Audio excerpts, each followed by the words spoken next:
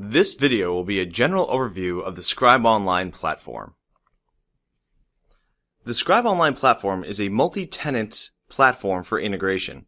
This allows us to have access to my own organization and any of my customer organizations as well, which I can easily navigate with a single click.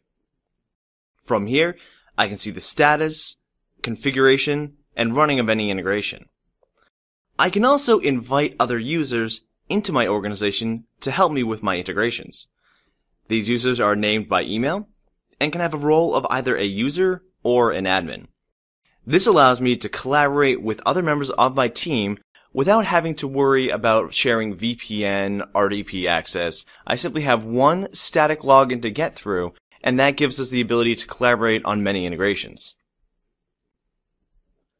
Once those users have been invited into my organization, I also have the ability to remove them. So if I am a customer and I no longer want my partners to have access to my running integrations, I can go ahead, select them, and remove them from my organization. Now that user will still have access to all their other organizations, simply not mine, which is Powerhouse Consulting in this video. The way that Scribe Online works is it runs through an agent mode. Um, agent technology can either be a cloud agent, which is going to run in Scribe's data center, or an on-premise agent. An on-premise agent is about a 20 megabit file that gets downloaded and runs as a Windows service. This is going to allow me to get access to both cloud apps and my local apps for my hybrid integration. The agent technology that we have is what actually executes the integration as well. So this is a cloud managed, cloud configured integration service, but it's actually executed via that agent, so either on-prem or in Scribe's data center. Now what those agents also do is they allow us to connect to different data sources. And here we can see a list of the connectors that we support. Anywhere from ExactTarget and GoToWebinar down to MySQL and ODBC. So we can connect to either named API type applications like Dynamics GP and CRM or SQL Server and text files. As we have more named applications, we're going to find them in our marketplace. The Scribe Marketplace allows us to both see what connectors are available and also to either install them or remove them from my organization. Now I'm going to go ahead and create a new solution instance, just to give a demonstration of how this operates. In this case, I'll pick Marketo and CRM 2011. I'll select whether I want it to run in the cloud or on-premise, and then I'll get to my mapping screen. From here, I can import a set of templates, which is going to allow me to get a head start on my integration. This could be anywhere up to 90% of the work that I have to do, uh, within one fell swoop. And then I simply need to go into that map and reconnect it. So in this case, I'm going to connect it to CRM 2011 as a source, Marketo as a target. It's going to validate that those connections are working, validate that all my field mappings are valid, and it's going to come back and tell me that that has been successful and it's now able to be run. Now I can also see what entities are available now that that's loaded up, and also what field mappings exist in that template. Here I can decide that I want to create additional mappings as well. So I can drag and drop that over. I can get into that formula editor and make changes. So this is a transformation layer that I can do some cleans against that particular field. I may want to uppercase my city every time I, I move it across. We have up to about 65 different functions within our, our formula editor here. Anywhere from our basic text parsing to if then else logic, um, regex replacement, and uh, dynamic lookups to our target system. So a pretty good array of different transformation layers that I can select to either do that or basic mappings.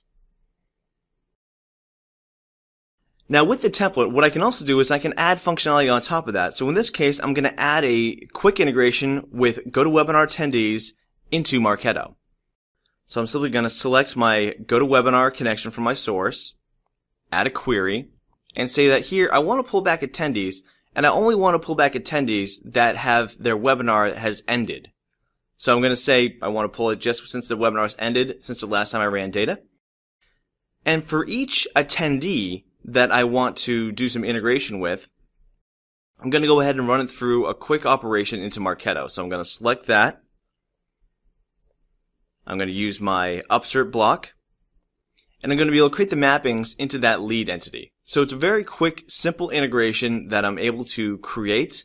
Um, again, I could pick any other fields I want to be mapped. So here I can do a very basic um, first name, last name, email, Or if I had more data available to me in my source, I could pick a lot of different fields to be mapped across.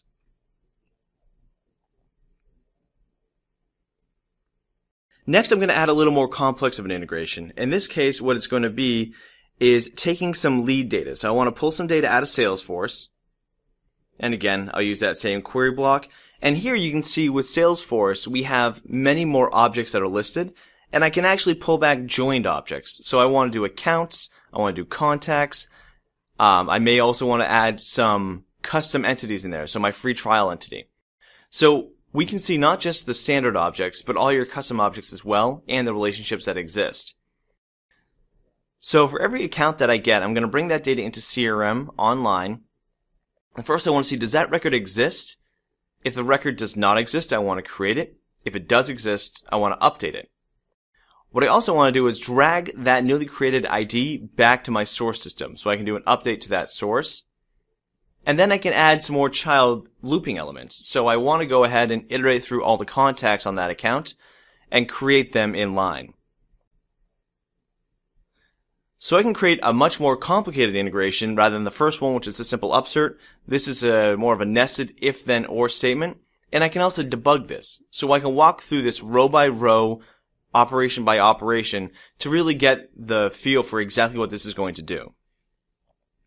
Lastly, I can schedule my integration. So I can either have it run on demand, which is by a button click, or I can have it recurring every half an hour of every day, only on the first, the 15th, and the last of the month, every half hour, or even every, every one of those days at midnight. So I have a pretty broad scheduling capability to let this run automatically behind the scenes. Once it's running, Scribe also does error management. So I can see any of these that have had failures. I can look at the history. I can see what those errors have been so I can drill down and see what all the errors have been.